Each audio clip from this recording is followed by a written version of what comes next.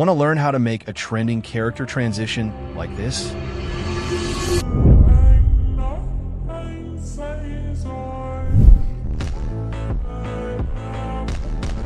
First thing, you'll need these plugins to create the transition. Go ahead and join my Discord server and grab them from there. Before we jump into the tutorial, do me a favor.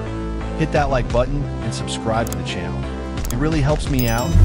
Alright, get your clips ready and add Twixtor and some zooms. You can also use these comp settings for your edit. Now, duplicate the layer you want to work with. Right-click, go to Time, and select Freeze Frame.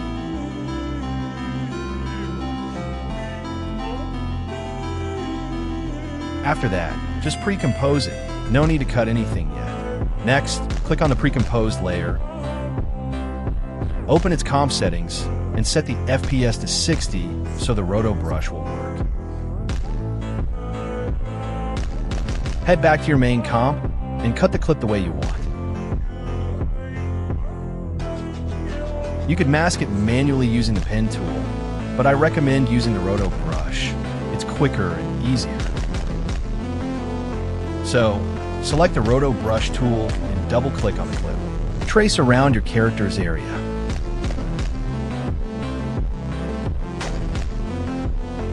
If you need to remove parts you don't want, just hold Alt and paint over them to discard.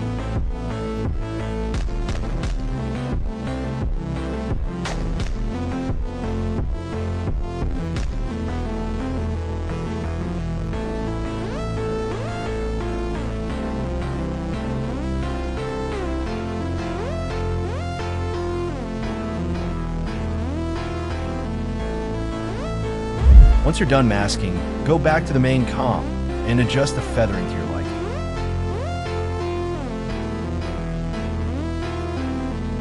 Now, search for Blurmo curves.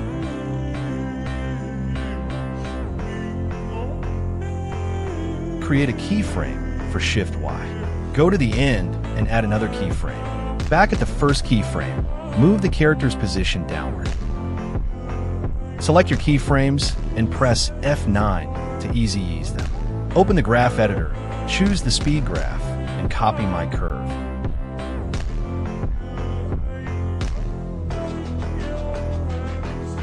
Left side at 70, right side at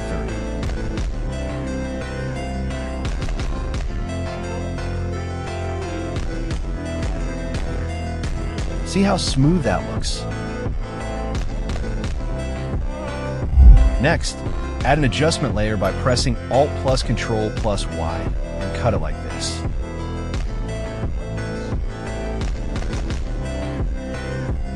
Search for Motion Tile and set its values as I show.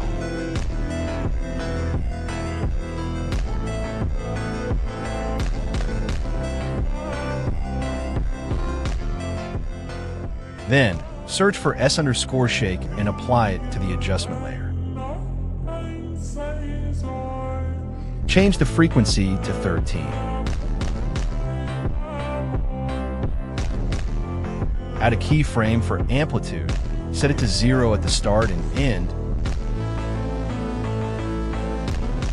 And somewhere in the middle, raise it to about 0.976. Easy ease those keyframes. Open the graph editor, pick the value graph, and copy my curve.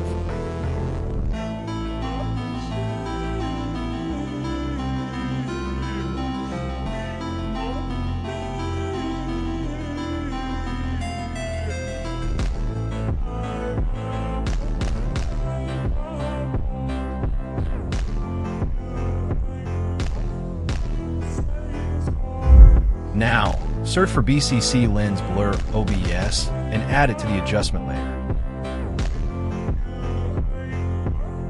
Copy my settings.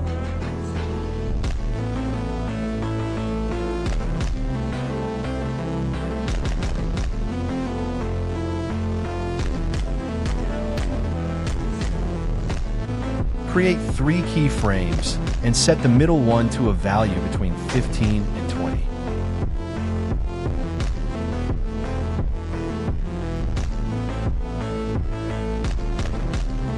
Easy ease them.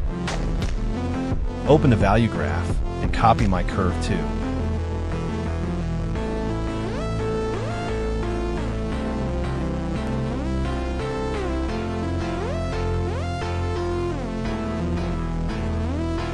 If it still looks too sharp, set the iris scale to around 20 for extra blur. Looking clean, right? If you want to add a ripple effect, create another adjustment layer over the clip, search for BCC Ripple Dissolve, and add it. Change its color and copy my settings. For a faster ripple, set both values to minus 70. For a slower, smoother ripple, go with minus 60.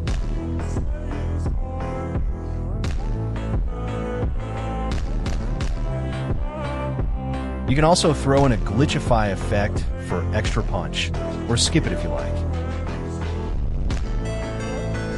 Finally, the most important part, you need a good color correction to keep your edit from losing quality when uploading to social media. You can grab my color correction presets from the shop, the link's in the description.